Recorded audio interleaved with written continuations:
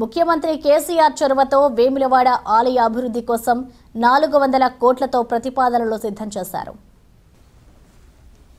ఇటీవల వేములవాడ ఆలయాన్ని మంత్రి కె. తారక రామారావు సందర్శించి ఆలయ అభివృద్ధి చేస్తామని హామీ ఇవ్వడంతో ఇందుకోసం నిధులను కేటాయిస్తూ బడ్జెట్లో సిద్ధం చేశారు.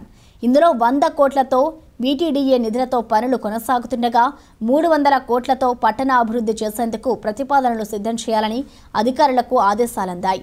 తాజా బడ్జెట్లో యాభై కోట్లు కేటాయించగా పనులు వేగవంతం చేసేందుకు కసరత్తు ప్రారంభించారు.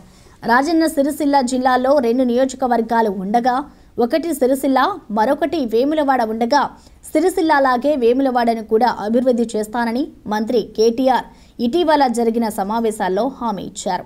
అందులో భాగంగానే వేములవాడకు నాలుగు వందల కోట్ల ప్రతిపాదనలు సిద్ధం చేయాలని ఆదేశాలు ఇచ్చారు.